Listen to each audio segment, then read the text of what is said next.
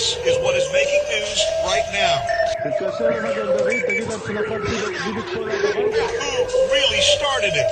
Israel broke the ceasefire. But Israelis say, not true. We will fact check it. Attacks continue.